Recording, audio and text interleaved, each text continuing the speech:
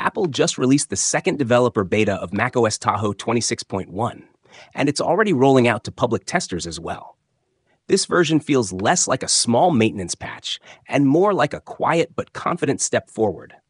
I spent some time exploring every visual tweak, performance improvement, and bug fix, and here's everything you need to know.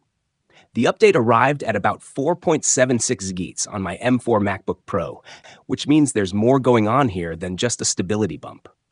Apple seems to be polishing the experience in subtle ways refining icons, animations, and the overall visual harmony across the system.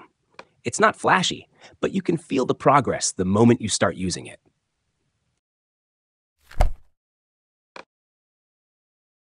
Let's start with something small but noticeable the external drive icon.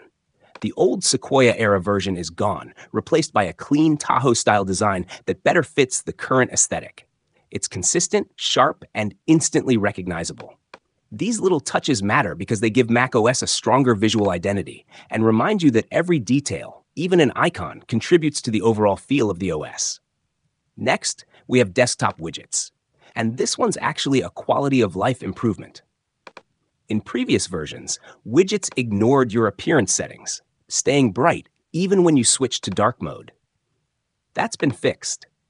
Now widgets automatically adapt to your system theme, subtly dimming or brightening to match the wallpaper and interface tone. It's one of those background refinements that makes your desktop feel more integrated and alive, especially if you use widgets regularly. Moving on to the TV app, which finally behaves like a proper macOS app again. The previous layout was glitchy, windows misaligned, buttons floating awkwardly, and search just missing altogether. Beta 2 cleans this up beautifully, the Search tab returns, the sidebars scale properly, and those traffic light window controls finally sit where they should. Watching or browsing now feels smoother and more consistent with the rest of the system, as it always should have been. In the Music app, Apple made a minor but interesting change. Lyrics View is no longer rounded. The corners are now squared off, giving the panel a more minimalistic and uniform appearance that matches other apps like Messages or Finder. Personally, I miss the old soft edges a bit, but this cleaner layout ties the whole interface together. It looks more professional and consistent with the flat, glassy language of macOS Tahoe.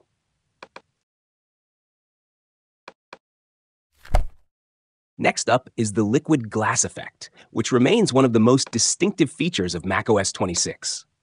You can still toggle it off if you prefer a traditional matte look, but it's great to see that the transparency engine remains fully stable in Beta 2.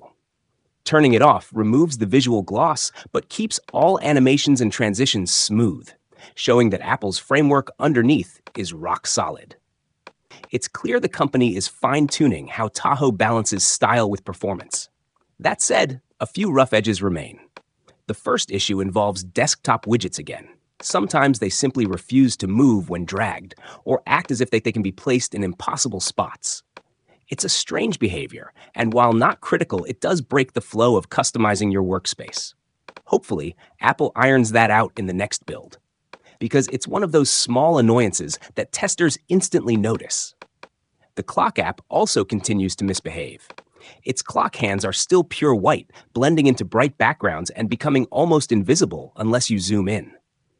It's an odd bug to see last this long, especially since clock visibility is such a basic design detail.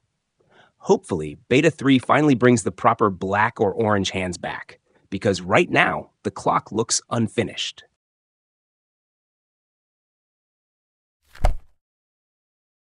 When it comes to performance, the results are encouraging.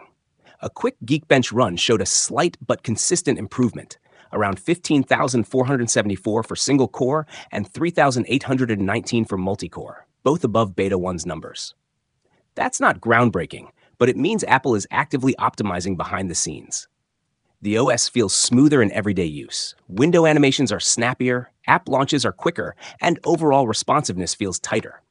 Still, a few visual oddities linger.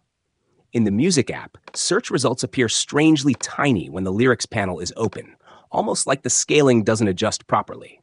You can fix it by resizing the window, but it's something Apple should polish soon. The App Store has a similar visual quirk, a random blank space in the Updates section that breaks the grid layout. It's purely cosmetic, but for a company known for precision design, even small gaps stand out. As for what's next, expect Beta 3 around October 13th. Apple usually moves to a weekly release rhythm after the second beta, especially once fall testing begins. That means the next few weeks will likely bring smaller but more frequent refinements as the company focuses on stability before the final release later this year. Overall, macOS 26.1 Beta 2 feels like a very steady step forward. Performance is up, the system is stable, and the new visual tweaks make the desktop experience cleaner and more modern. There are still bugs, yes, but nothing major enough to disrupt your workflow. Liquid Glass remains beautiful and responsive, and widgets finally feel like a natural part of macOS instead of an afterthought. So that's Beta 2 in a nutshell refined, reliable, and quietly evolving. If you're already testing macOS Tahoe, tell me what improvements or issues you've seen so far. Don't forget to subscribe. Beta 3 is coming soon, and I'll be covering all the changes the moment it drops.